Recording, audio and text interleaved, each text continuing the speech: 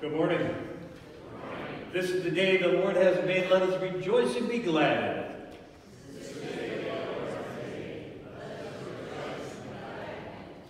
Following our service this morning, we're having our voters meeting. We will be holding it in the fellowship hall. Uh, and if you want the refreshments, you have to go to the fellowship hall. So, um, also the life chain is taking place today. Uh, there's a flyer in the back and an announcement in the bulletin. And if you didn't put money in the big mite box on your way in, make sure you put money in the mite box on your way out. Anything else, Joanne? That's it.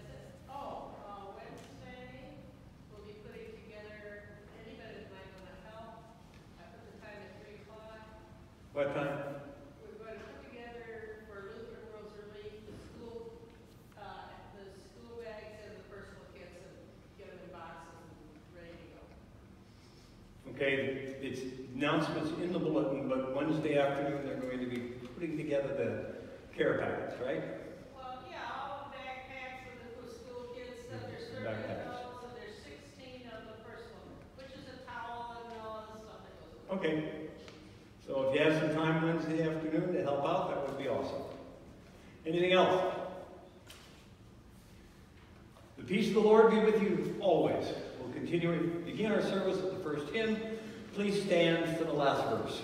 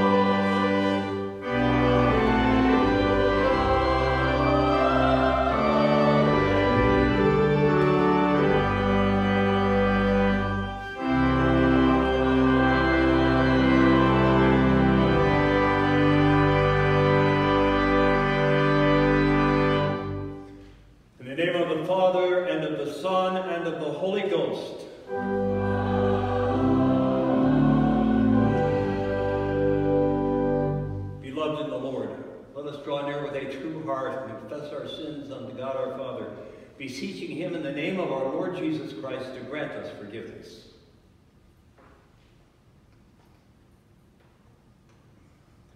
Our help is in the name of the Lord.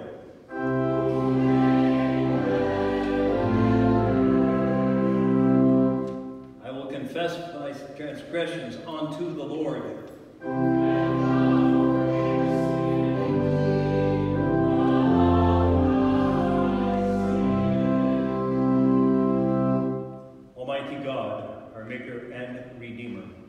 We poor sinners confess unto thee that we are by nature sinful and unclean, and that we have sinned against thee by thought, word, and deed. Wherefore we flee for refuge to thy infinite mercy, seeking and imploring thy grace for the sake of our Lord Jesus Christ. O most merciful God,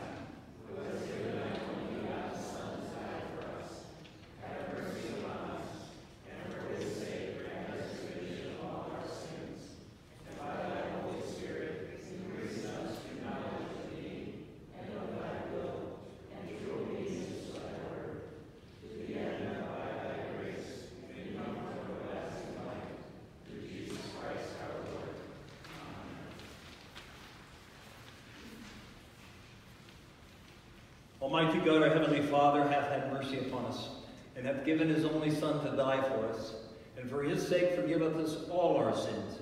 To them that believe on his name he giveth power to become the sons of God, and hath promised him his Holy Spirit. He that believeth and is baptized shall be saved. Grant this, Lord, unto us all.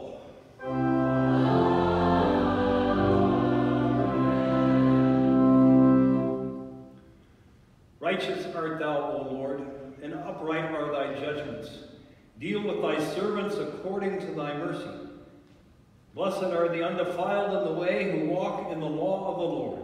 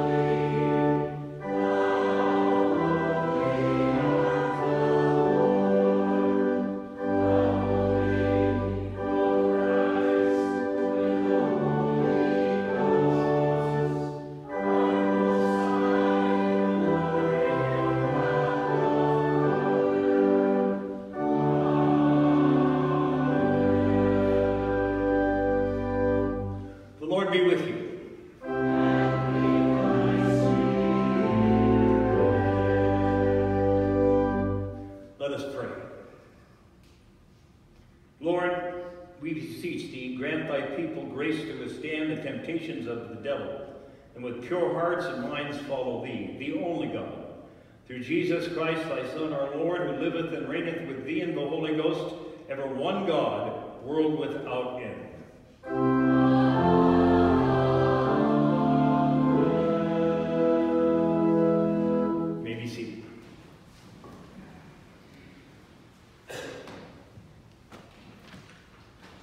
The Old Testament lesson is from Isaiah chapter 5, verses 1 through 7. I will sing for the one I love a song about his vineyard. My loved one has a vineyard on a fertile hillside. He dug it up and cleared it of stones and planted it with the choicest vines. He built a watchtower in it and cut out a winepress as well.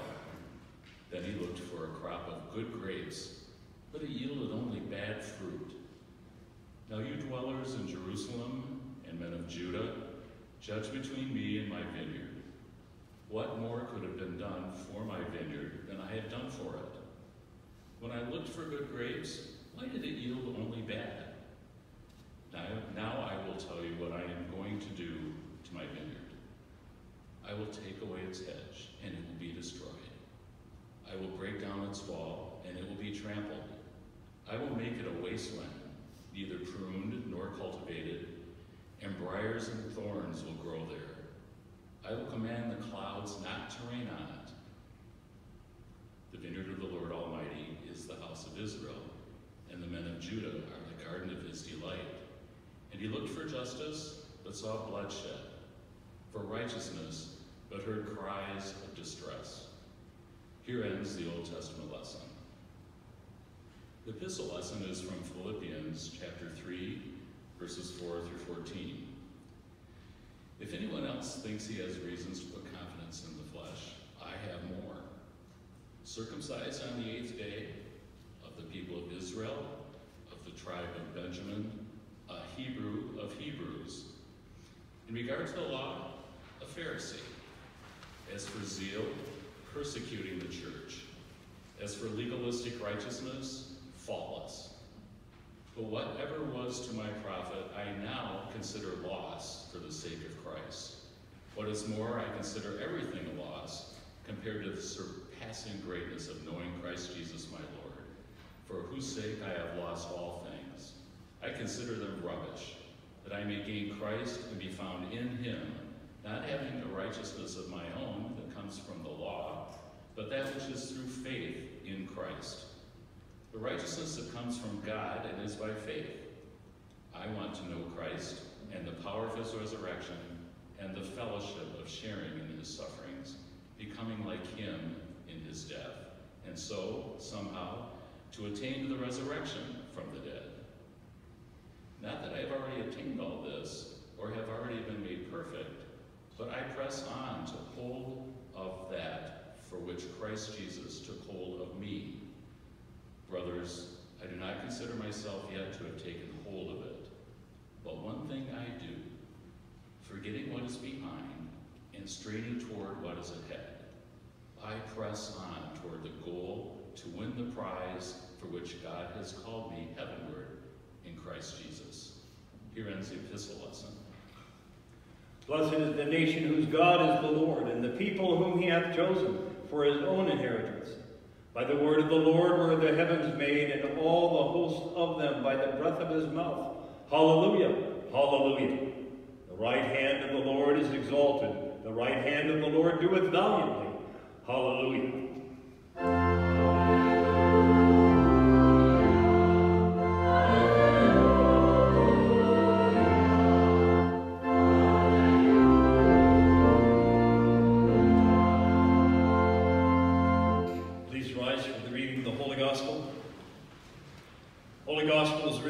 21st chapter of St. Matthew, beginning at the 33rd verse.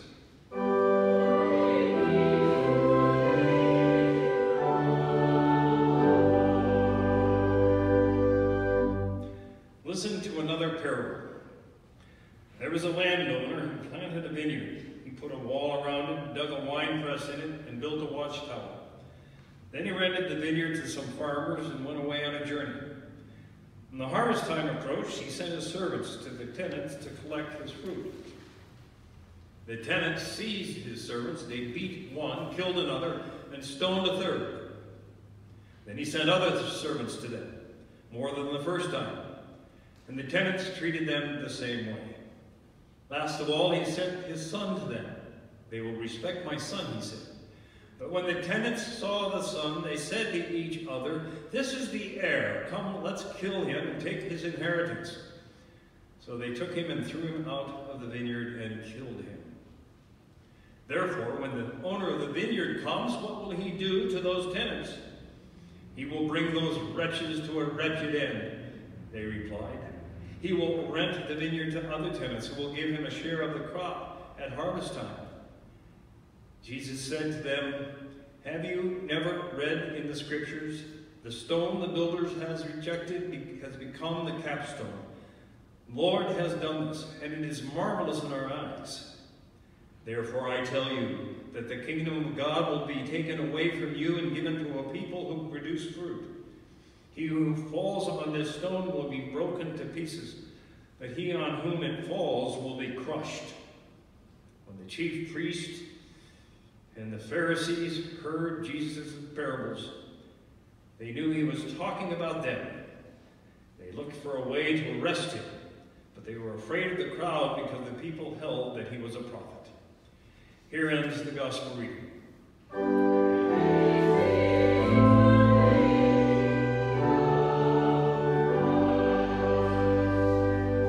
We join in the confession of our Christian faith in the words of the Apostles' Creed.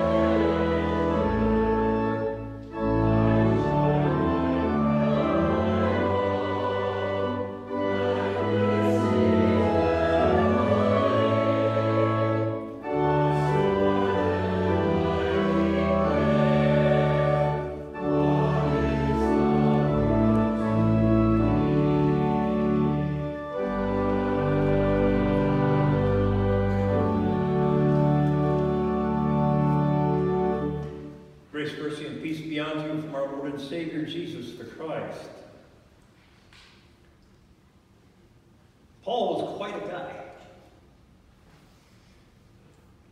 He uh, really had to confront, be confronted by Jesus directly for him to change. He was very, very much into living the Jewish life. But by God's grace, he realized it was faith he was saved by. But that dichotomy, that challenge between people who believe totally in faith and people who believe in works, continued. It continues to this day. But notice what Paul says about himself. I've always enjoyed this. If anyone thinks he has reason to put confidence in the flesh, I have more.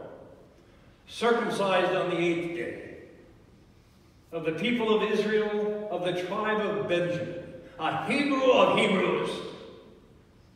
In regard to the law, a Pharisee, as for zeal persecuting the church, for as, as for legalist righteousness,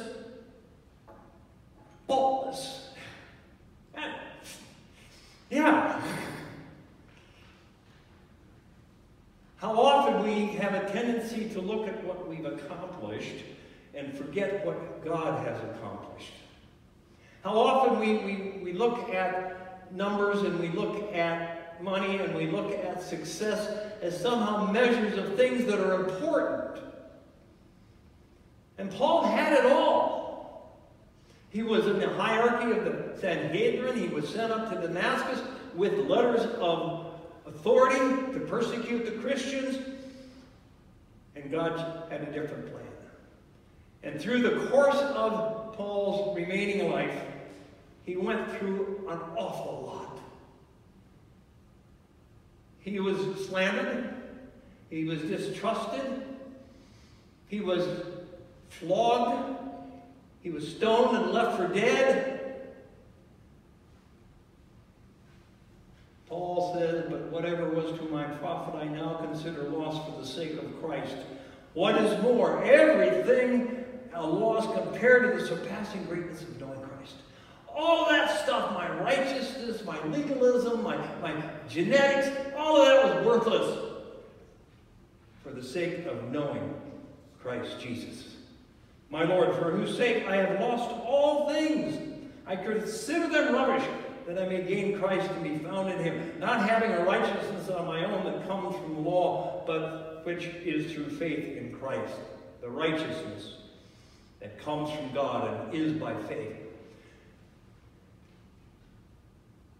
You know, it's amazing how often we get trapped in the false focus. We get trapped in looking toward a retirement, putting money away. We get trapped into getting a better job. We get trapped into having better health we get trapped into having the latest gizmo and lose sight of the goal. We lose sight of the target. And we bemoan when we lose stuff. I, re I remember when I was a financial advisor during the dot-com bubble when it burst, and all these people went into a panic. Look at all the money we lost. It's the end of the world. And most of them had as much or a little more than when they started. But they were watching the stock market. They were counting on the stock market that, that had their nest. They were looking at the economy. They're looking at everything in this life and losing sight of the goal, heaven. I want to know Christ. one of the early converts to Christianity came to the disciples and said, Sir, I want to see Jesus. You see, that is the sole source of hope we have, is in Jesus the Christ. It's not in denomination, it's not in riches, it's not riches, it's not in faith, uh, faithful attendance, it's in Jesus. The total expectation of everything is in Jesus. I want to know Christ and the power of his resurrection and the fellowship of sharing in his sufferings, Well, right there, let's stop. How much really do we want to share in Jesus' sufferings? I mean, let's be honest, you know, if we could avoid it, we would. And yet look at Paul. He understood what it was. The reality of following Jesus means everything else is worthless. Now, remember where Paul is when he's writing this letter. He's in prison in Rome probably 63, 64 AD. It's after his first trial, before his second trial. Remember, he asked to go to Rome and plead his case before Caesar. And they said, okay. When he had his first hearing, it was kind of a hung jury, and they put him in jail. He was looking at the end of his life. He was looking at the end of everything he had done. He was looking at what next. And that's something we need to be doing as well. Not that I have already obtained all of this or have already been made perfect, but I press on to take hold for that which Christ Jesus took hold of me. Brothers, I do not consider myself yet to have taken hold of it, but one thing I do, forgetting what is behind and straining toward what is ahead, I press on toward the goal to win the prize for which the Lord God has called me heavenward in Christ Jesus. Paul was goal focused. He knew where to keep his mind. on that great and glorious day of resurrection, that great and glorious day of the body of Christ being brought together, of joining that throng of those washed in white, those who would come out of the great tribulation, whose robes had been washed in the blood of the Lamb. That was his focus. That was his goal. He was goal focused. Now, I don't know if you realize how many times in our life we are truly goal focused. The LWML, they prayerfully consider a goal to attend, a certain level of funds for doing mission. And that's kind of exciting because in all the meetings, they never said, well, what we did last year or what we did the year before. No, they focus on the goal ahead of them. Believe it or not, when I was a young, young man, I was a middle and long distance runner. And it's an amazing challenge. You start out and you're moving along and moving along. And that's one lap down. That's two laps down. That's three laps down. Four laps down. I got to keep going. You knew where the target was, the finish line. That's where you had to focus. And if you looked over your shoulder, you would lose a step. And somebody would pass you. So you never look behind you. You might glance side to side, but you're really looking straight ahead, looking at the goal. My question has to be asked Are we truly goal focused? I mean, so much of our life is consumed with right here, not out there.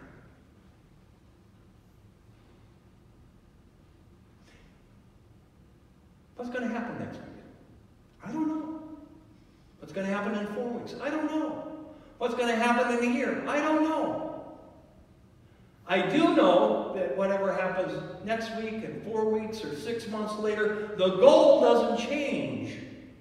It's part of the race looking to arrive at heaven, to taking hold of that crown of righteousness which is laid up for us, that crown purchased by the blood of Jesus to be focused there. And not look behind him. But you know, we like to look behind. We have anniversaries, you know. Trinity has our 150th anniversary coming up next year. Yeah. I want to look back and see all the, well, yeah, but what next? Where are we going to go? How are we going to be focused on Jesus and heaven? How are we going to help other people be focused in Jesus and on heaven? Because that's the goal, that we need to be goal focused. Oh, it's all too easy to get tired. It's all too easy to sit on the sideline. It's all too easy to say, Coach, I just don't think I can make that last lap. But we dare not do that. We dare not do that. Many have done that. Many have gone from and strayed from the truth of the Word of God. Many have followed their ideas and, and become societally active, become socially aware, and have become consumed with being effective. And of course, church attendance is what people look at. It's been amazing to me in district discussions where we start looking at will the church survive? How can the church survive? We need to have at least 100, then it was 125, lately I heard 150, to support a full-time pastor. That is not goal focused. Goal focused is however many people are gathered together in his name are looking to take hold of the crown of righteousness. That's being goal focused. And that's the challenge you and I have. We get halfway through the race and we say, I'm tired. I've heard many senior members of the body of Christ say, I'm going to let the younger generation do it. I did my time not being goal focused. the challenge for us is to keep our eyes fixed on the prize. To keep our eyes looking toward that which has been promised for us and to press on toward the goal to win the prize for which God has called me heavenward in Christ Jesus. So no matter what happens in this life, Keep your eyes on the prize. No matter what horrible things may happen, keep your eye on the prize. When you get up in the morning and the body creaks and groans and you go, oh, keep your eye on the prize. Always keep your eye on the prize. And never lose your focus. Amen. Gracious Heavenly Father, we ask your blessing for a full measure of the Holy Spirit to keep our eyes focused on your Son, focused on the prize he purchased for us with his blood on the cross. We ask that you would strengthen us each day, direct us and guide us, and let all things work to your glory. In Jesus' name, amen. And now may the peace of God, which passes all our frail human understanding, keep our hearts and our minds in Jesus Christ. I invite you to stand this morning instead of the commitment to the fellowship. We will be sharing the LWML pledge. Please stand.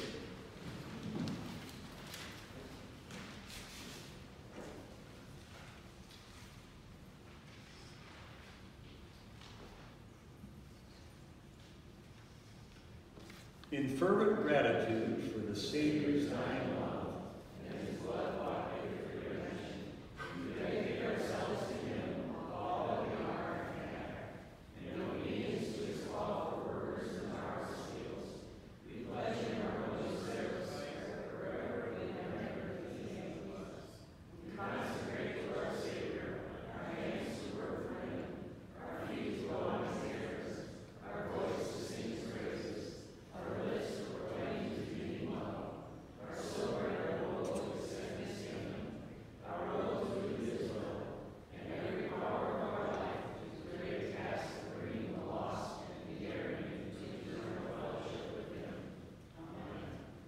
Almighty and everlasting God, who art worthy to be held and reverenced by all the children of men, We give thee most humble and hearty thanks for the innumerable blessings, both temporal and spiritual, which without any merit or worthiness on our part thou hast bestowed upon us. We praise thee especially that thou hast preserved unto us in their purity thy saving word and the sacred ordinances of thy house. And we beseech thee, O Lord, to preserve and extend thy kingdom of grace and to grant unto thy holy church throughout the world purity of doctrine and faithful pastors, who shall preach thy word with power and help all who hear, hear rightly to understand and truly to believe it. Send forth laborers into thy harvest, and open the door of faith unto all the heathen and unto the people of Israel. In mercy, remember the enemies of thy church, and grant unto them repentance unto life. Be thou the protector and defender of thy people in all time of tribulation and danger. And may we, in communion with thy church and in brotherly unity with all our fellow Christians, fight the good fight of faith, and in the end receive the salvation of our souls. Bestow thy grace upon all the nations of the earth. Especially do we entreat thee to bless our land and all its inhabitants and all who are in authority. Cause thy glory to dwell among us, and let mercy and truth, righteousness and peace everywhere prevail. To this end we commend thy care all our schools and pray thee to make them nurseries of useful knowledge and Christian virtues, that they may bring forth the wholesome fruits of life. Graciously defend us from all calamities by fire and water, from war and pestilence, from scarcity and famine. Protect and prosper everyone in his work, an appropriate calling, and cause all useful arts to flourish among us. Be thou the God and Father of the widow and the fatherless children, the helper of the sick and the needy, and the comforter of the forsaken and distressed. Except we beseech thee, our bodies and souls, our hearts and mind, our talents and powers, together with the offering brought before thee, which is our reasonable service. Good and gracious Heavenly Father, thank you again for the fellowship here at Trinity, for the people you have brought together. We ask that you continue to bless our fellowship with all the resources of time, talent, and treasure necessary to meet the many opportunities that you have before us. We ask our, your blessing on our shut-ins, Ray Mitzka, Dick, uh, Ruth Carlton, Lord, and all those who are unable to be with us, we ask that you would be with them and strengthen them. We rejoice and give you thanks that Bob came through his surgery successfully, and we ask that you speed his recovery. We ask for continued uh, healing for, for Gary Wolf. We lift up before you, Lauren, Kitchell's daughter, stage three cancer. Lord, you are the physician of body and soul, and into your hands we entrust all those who are suffering in any way. Lord, we give you thanks for the many ministries you allow us to participate in. We ask a blessing on our Living Word congregation and Moses as he continues his training to become their pastor. We lift up before you, Bob, and all pastors, that they may be fully inspired by your Spirit, to hold fast to the truth, to strain toward the goal, to all take hold of life. We ask a blessing on our child care, that you continue to bless them, uh, parents and children, staff and teachers, that this place is again known as a place where your love is made manifest. We give you thanks for a successful heart adjustment for Terry and ask that you would continue to bless her in all of her challenges. Uh, we ask a blessing for uh, Deacon William Morsinski uh, from Hope Goodells as he continues to heal from a stroke. We ask a blessing on uh, St. Luke Project 52's clinic, new paid nursing staff, and expansion of feasibility of Franklin Avenue Mission in Flint. We ask a blessing for Dr. Craig and Mary Oldenburg upon the death of Mary's father, Arthur Brown. We rejoice and give thanks for the gift of life and ask a blessing for Reverend Chris and Amanda Young upon the birth of a baby girl. And we ask a blessing for Becky Grossman and for a successful bonding team treaty as part of Lutheran Bible translating mission. Lord, all of your servants strive toward the goal equip them for all the tasks you have for them. Lord, we lift up before you our military, those who go on harm's way on our behalf. We ask that you would give them honesty and integrity, bless and protect them. Ask a blessing upon their families during the periods of separation. We ask a blessing on our chaplains as they share your word. We ask that you would allow them to share the word without hindrance or interruption, to boldly proclaim the name of Jesus. Lord, we ask a blessing upon our spiritual governance, our district president, our synodical president. In times of confusion and chaos, we ask that you give them the stalwart confidence in your word. Help them be confident in the profession of your name. Lord, we ask a blessing upon our civil governments, our state legislature, our governor, our president, our Congress. Lord, we've lifted these folks up to serve us. And we ask that that happen. Lord, we ask a blessing upon President Trump as he's going through Corona. We ask that he recover quickly. And all those who go in harm's way at this time and serve on the front lines, we ask that you would protect them and ask that you would give them strength to do the tasks you've assigned to them. We ask a blessing upon our emergency responders, our EMTs, our firefighters, our police officers. Lord, they willingly go where others flee. We ask that you would protect and defend them as they continue to serve us.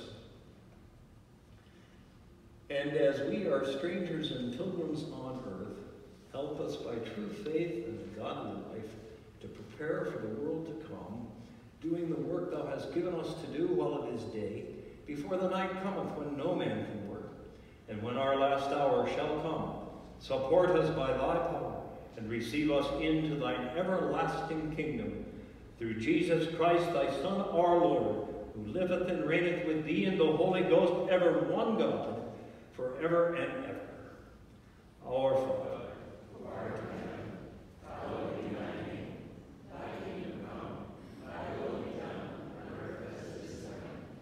Give us this day our daily bread, and forgive us our trespasses, as we forgive those who trespass against us. And lead us not into temptation, but deliver us from evil. For thine is the kingdom, and the power, and the glory, forever and ever. We pray. Grant, we beseech thee, Almighty God, unto thy church, thy Holy Spirit, and the wisdom which becometh that may not be bound, but have free course, and be preached to the joy and edifying of Christ's holy people, that in steadfast faith we may serve thee, and in the confession of thy name abide unto the end. Through Jesus Christ, thy Son, our Lord, who liveth and reigneth with thee in the Holy Ghost, ever one God, world without end.